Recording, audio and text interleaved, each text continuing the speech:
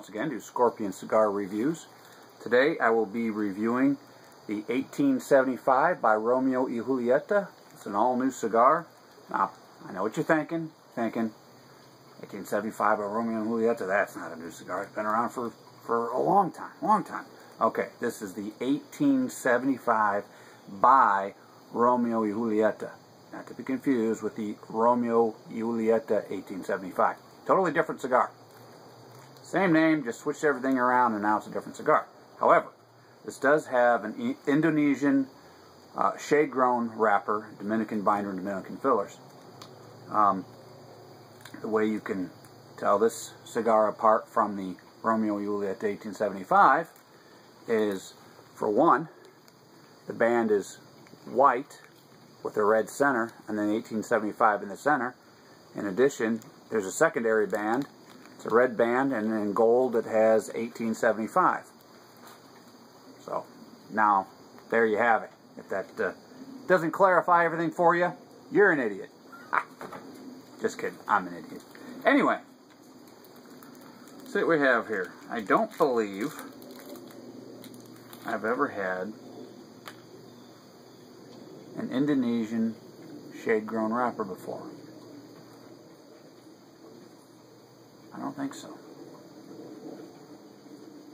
Not knowingly, anyway. So, this is a Toro size, uh, 6 by maybe 52, I believe. Something like that. It's got some heft to it. Good pack. It's it's firm, but just just an ever so slight amount of give to it. Uh, kind of a uh, milk chocolate brown in color. Uh, some you know minor veining, no no big deal. Uh, tight seams. Has a what do we have on there? Double cap. At least a double. Might be a might be a triple in there. I'm not sure. At least a double cap.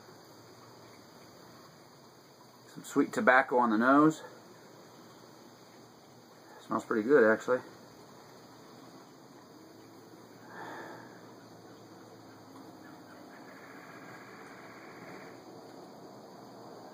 Something else in there. Starting to open up.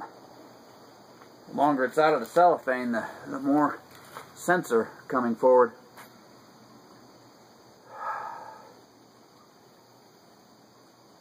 Boy, I'm not... They're all kind of melded together. They haven't all opened up yet, but I'm definitely picking up some sweet tobacco.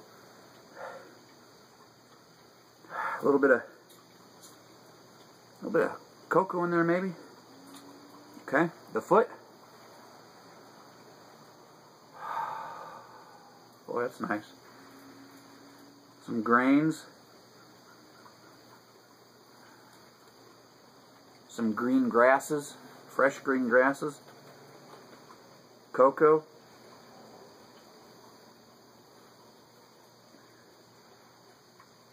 very subtle hint of cedar. There's a lot going on. I mean, it's everything's just so melded together. It's not really opening up and you know becoming you know this flavor's defined and this flavor's defined and this scent's defined. It's just everything's just kind of mixed in there and it's slowly opening up, but I don't want to spend the next hour and a half sniffing my cigar. I want to spend the next hour and a half smoking my cigar. So, without any further ado,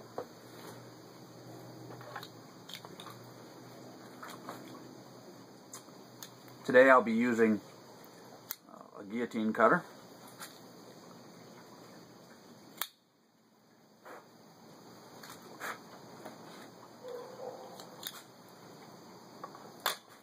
I hope I don't regret that because the draw is a little bit snug.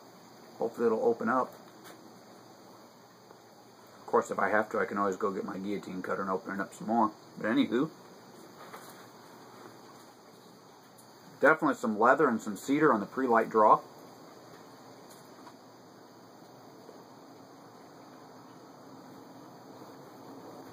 some more grains in there.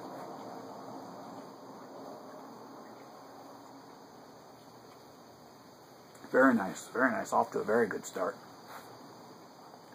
Alright. We'll get it toasted up. Now, I'm not using one of my fancy lighters today. I'm using a cheap lighter picked up at Walmart. Kind of neat, one of those multi-tool lighters. I think it was about seven, seven dollars, eight dollars, something like that. A knife on it, a corkscrew, a bottle opener, and a single torch jet flame windproof lighter.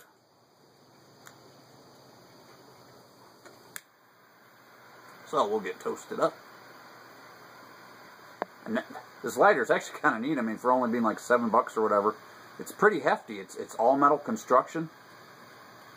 No cheap plastic parts on this. So far, the lighter seems to be doing a pretty good job. Granted, there's hardly any wind out here. But I did test it out after I bought it, where I would light breeze doesn't go out. I don't know if I'd try to use it during a tsunami or a hurricane or a tornado, but I tell you, it seems to be doing a really good job toasting my cigar. I'm real happy with this so far.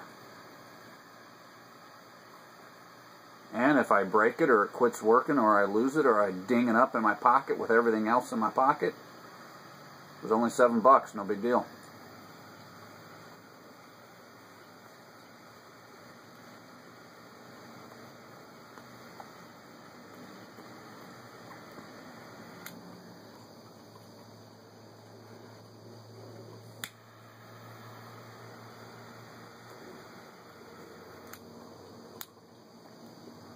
There we go.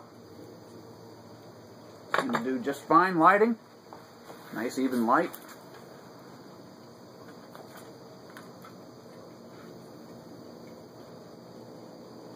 As I mentioned, the draw is pretty snug. I'll give it part way into the first third. You know, I won't give it a whole long, a whole, whole, whole lot of time, maybe half inch in or something. Then I'll, if it hasn't loosened up, maybe I'll do a guillotine cut. Or maybe I'll take the V cutter and cut it crossways, put a cross in it.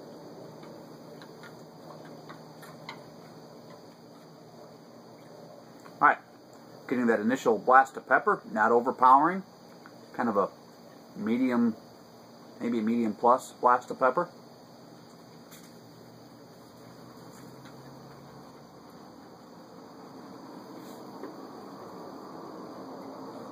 Alright, at the moment, that's all I'm getting. I'm going to let it heat up, and I'll come back somewhere in the first third.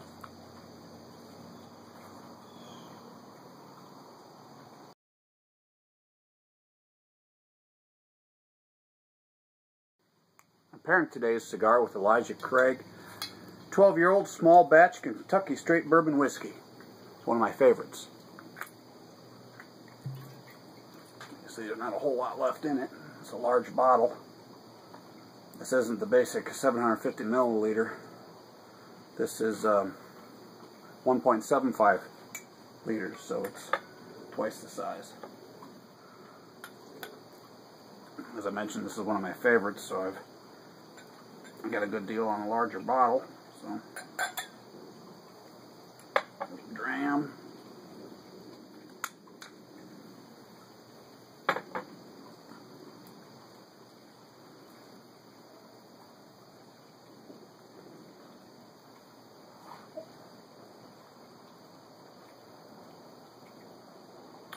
That is some wonderful stuff. 94 proof, 47% alcohol by volume. I'll add about a teaspoon of water into my dram. Give a little swirl. Put the lid on it. Give it a chance to open up. We'll come back to that after uh, the cigar review.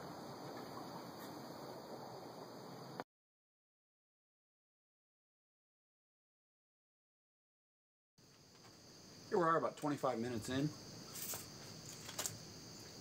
The, uh, the burn had started going a little, you know, angled, but it seems to be trying to correct itself. Haven't done any kind of touch-ups or anything. I've got uh, about an inch of ash, something like that. The uh, draw is still a little bit snug. I, uh, I, I haven't felt the need to try to open it up any yet. I'm just going to let it go as it is and see what happens. It doesn't seem to be a real problem. So uh, we'll just see what happens.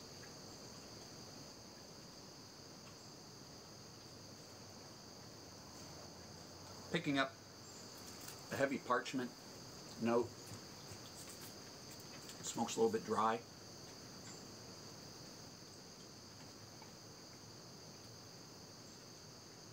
Something else in there.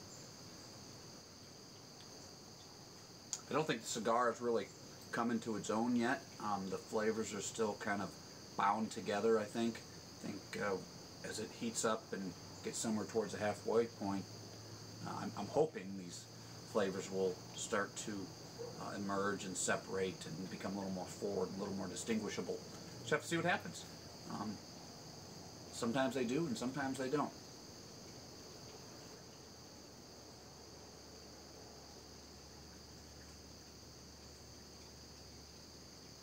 A little bit of a spiciness there. Not quite sure what it is. Okay, we'll continue on and uh, come back somewhere in the second third.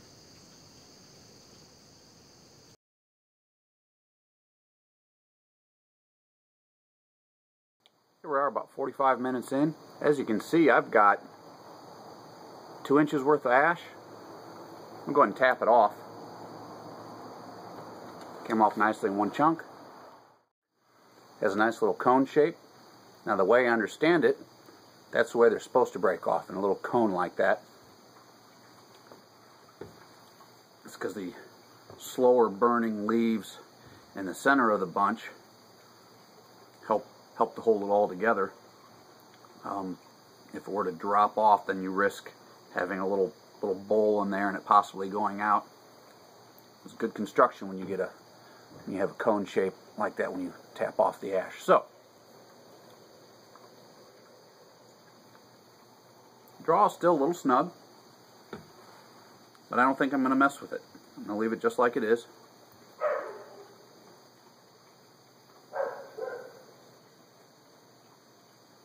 Not getting a whole lot of changes here. Um, slightly meaty. Maybe a mild pepper note, real mild, real subtle. Maybe a medium minus on the body and strength. It's about all that's going on right now. I'll continue on and uh, I'll come back somewhere in the final third. Well, I'm a total idiot. I just did a complete segment without the camera rolling. So let's try this again. I just poured another dram of Elijah Craig small batch 12 year old and I added a teaspoon of water. We'll go through it again. The nose has a sweet bourbony character. You can smell the vanilla the oak, the oak influence. Real nice, just a really pleasant whiskey.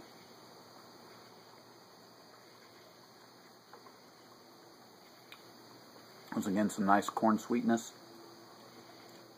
You taste the oak, the vanilla. Real nice stuff. One of my favorites. Now, I've been smoking this cigar for about an hour.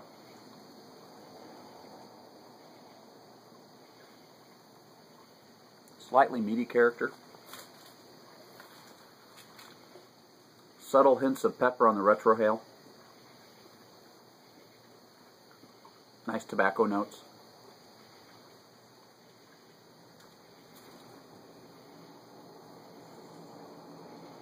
Maybe a little bit of grain in there.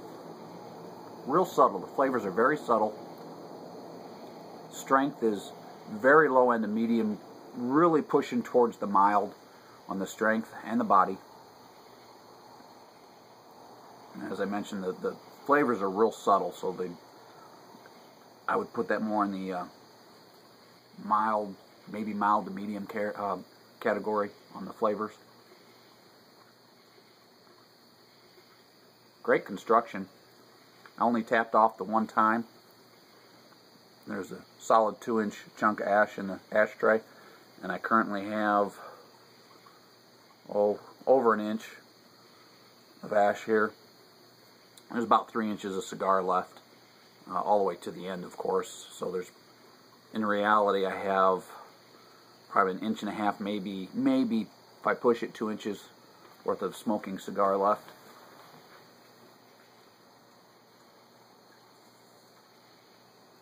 The cigar has a real good feel to it. It's it's solid, not at all brittle, just the right amount of give, just ever so supple. Just feels really nice. It's almost almost chewy feeling, like a like a like a cold gummy bear that has very little give to it, but it's not hard as a rock. Not a frozen gummy bear, just a cold one. Just real, real pleasant. This is the way I like my cigars. Some people, uh, a friend of mine on Facebook, uh, Matt Eskridge, he likes it when they get when they get soft. Um, for me, that's maybe not so much. Um, I, like when there's some definite resistance without it being brittle. You don't hear any cracking. You don't hear the wrapper leaf trying to break or anything. So it's a good sturdy wrapper leaf, nice construction, pretty even burn. Um, it's it's not you know perfectly straight or anything, but I haven't had to touch it up at all. No issues with the burn. And although the draw has been a little bit snug, um, maybe for me I should have done uh, a straight guillotine cut instead of the V cut. I think I mentioned in the beginning of the video that I did a guillotine cut. I, I did the V cut is what I did.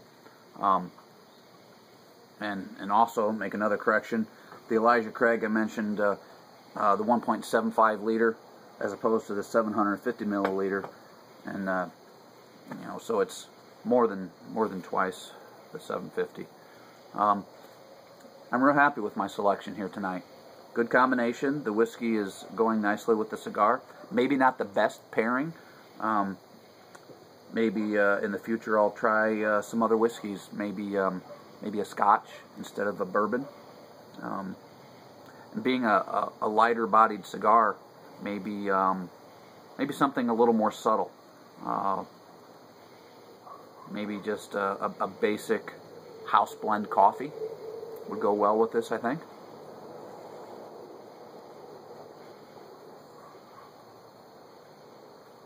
What else would go good would be a um, oh um, a port wine maybe. Port seems to go well with most cigars. There's, I'm sure there's a few cigars out there that don't pair well with port, but um, every time I've paired port with a cigar, I've been happy. But if you don't like the thick, heavy sweetness of a port, then uh, maybe something more along the lines of a whiskey or even a rum. A rum would probably go really well, or a cognac.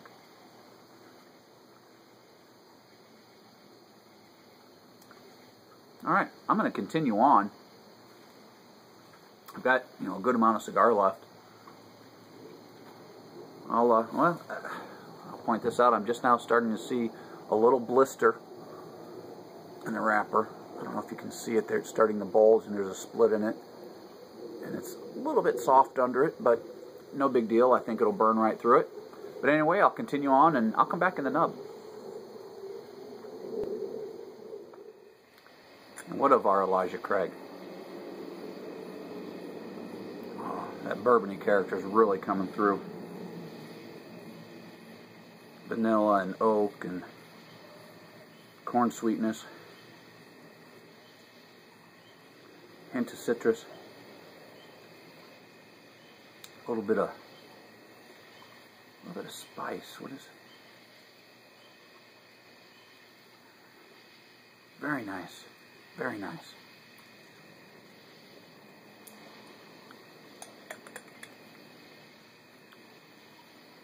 A little bit of cereal. Once again, the vanilla, the oak.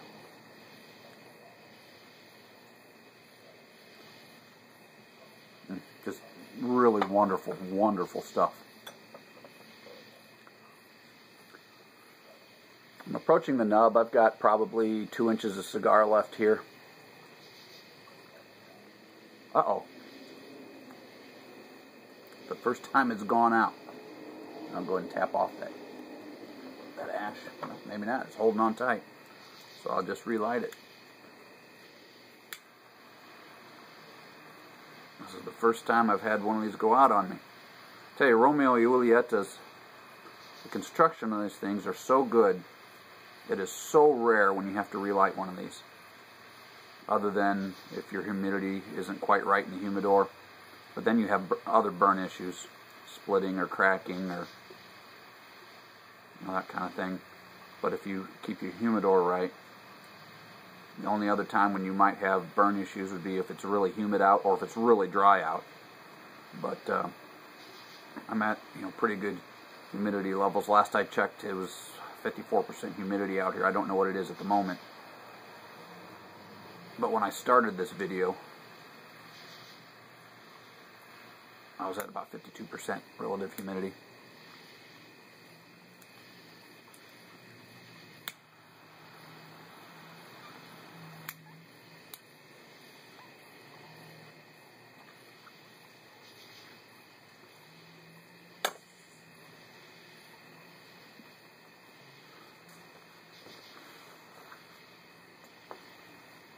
Once again, just a real, real nice, real pleasant,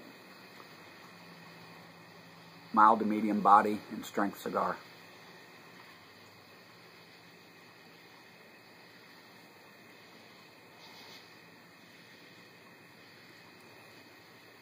Picking up some real undefined flavors at the moment. Nothing's really uh, coming forward or separating. There's nothing that's dominating the cigar. Everything's just melded together at the moment. But very pleasant.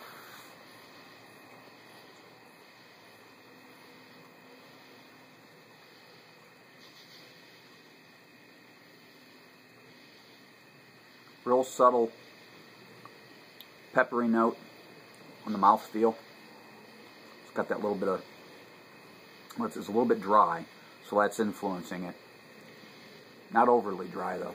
But I am glad I have something to drink. And I, I also have water to drink with my whiskey.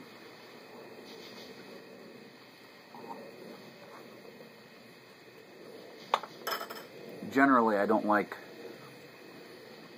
when the smoke is real dry. But it's, it's not to the point that I'm put off by it. So it's still within my range, but on the, on the drier side. Much like the draw. Snugger than I like it, but it's still doable for me.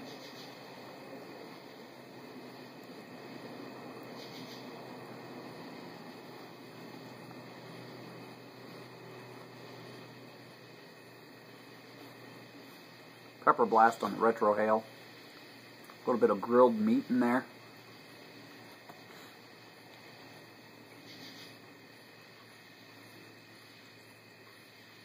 Nicotine starting to pick up a little bit. I can feel the kind of a, it's sitting a little bit heavy on my chest, way back in, in my throat. I didn't get that earlier on. It just just upon this this relight just now was the first time I noticed it. So um, it's been uh, just a, a, real pleasant, smooth cigar. The whiskey's been smooth and pleasant a real enjoyable evening. It's real nice out. It's, it's kind of cool out. Um, mostly clear. Some clouds, but uh, bats are flying around collecting their bugs, and insects are chirping in the background. And earlier I heard some birds chirping before the sun went down. But I'm going to go and end this review here, saying that the 1875 by Romeo Julieta been a real pleasant cigar. Real good construction. Really no issues. I only had to relight it the one time. Um, and I had set it down for a few minutes. Had to turn on the lights. Um, it gotten too dark for the camera to pick up. So uh, yeah, that I'm sure was a big part of why it went out. Um, it's been real subtle flavors. Uh, some some pepper. Um, gosh, just uh, you know, slightly dry smoke. There's early on there was some heavy parchment paper notes. A little bit of meatiness in there. And in the nub, a little bit of grilled meat. And there was a, not so much the flavor, but the mouth feel, that kind of cool mouth feel you get um, that that clove would offer. Not not any flavor of clove, but, but that cool mouth feel, kind of creamy.